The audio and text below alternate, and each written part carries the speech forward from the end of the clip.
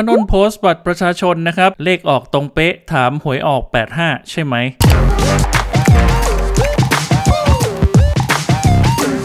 หลังจากที่สำนักงานฉลากกินแบ่งรัฐบาลออกรางวัลงวดวันที่ 16 ธันวาคม 2516 โดยรางวัลเลขท้าย 2 ตัวนะครับ ออกหมายเลข 85 ก็มีทั้งผู้สมหวังและผิดหวังจากการออกรางวัลในช่วงนี้นะครับ ที่เป็นงวดที่หลายคนลุ้นมากๆนะฮะในช่วงส่งท้ายปี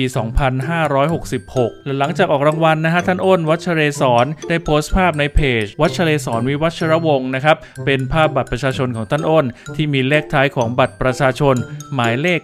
985 โดยเลข 85 นะครับเป็นเลขท้ายบัตรประชาชนของท่านอ้นไปตรงกับรางวัลเลขท้าย 2 ตัวที่ออก 85 นะฮะ โดยท่านอ้นวัชเรศรก็ได้โพสต์ภาพบัตรประชาชนพร้อมแคปชั่นว่า วันนี้หวยออก 85 ใช่ไหม พร้อมอีโมจิหัวเราะนะครับ หลังจากโพสต์ไปนะฮะก็มีชาวเน็ตเข้ามาคอมเมนต์ถึงเลขบัตรประชาชนของท่านอ้น ที่ตรงกับเลขท้าย 2 ตัวกันเป็นจำนวนมากนะครับก็ยินดีกับเพื่อนๆที่ถูกรางวัลด้วยสำหรับใครที่ยังไม่ถูกงวดนี้นะครับสู้ต่อฮะขอบคุณข้อมูลดีๆจาก Line Today และขอบคุณเพื่อนๆติดตามด้วยนะครับ